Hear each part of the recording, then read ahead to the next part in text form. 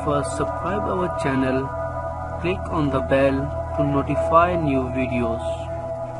السلام علیکم دوستو کیا حال ہیں امید کرتا ہوں آپ سب خیریت سے ہوں گے ٹھیک ہوں گے دوستو آج میں ویڈیو لایا ہوں جس میں کل چیف جسٹس ثاقب نثار نے کوئٹہ رجسٹری کی نئی عمارت کا افتتاح کیا اس میں جو خطاب فرمایا اس کی تفصیلات ہیں اس ویڈیو میں آئیے میں آپ کو دکھاتا ہوں۔ دکھانے سے پہلے آپ سے ایک ریکویسٹ ہے، اگر آپ نے میرا چینل ابھی تک سبسکرائب نہیں کیا، تو برائے مہربانی سبسکرائب کر لیں۔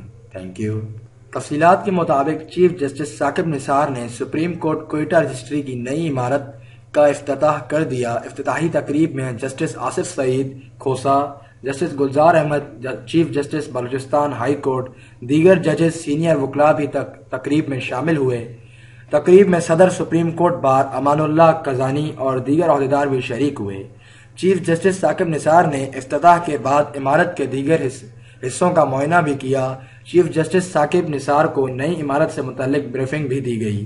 نئی عمارت میں خطاب کرتے ہوئے chief justice Pakistan justice Saqib Nisar نے کہا ہے کہ انصاف کسی بھی معاشرے کے لیے انتہائی ضروری ہے کیونکہ انصاف کی بنیاد پر معاشرے تشکیل پاتے ہیں۔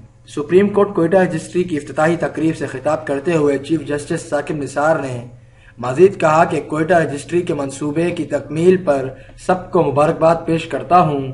دعا ہے کہ یہ عمارت انصاف کی فراہمی میں کردار ادا کرے۔ ان کا کہنا تھا کہ عمارتیں نہیں، وہاں رہنے والے شخصیات پہچان ہوتی ہیں۔ چیف جسٹس پاکستان نے کہا کہ انصاف کے بغیر ترقی ناممکن ہے۔ ججز کسی مفاد کے بغیر قوم کو انصاف فراہم کریں۔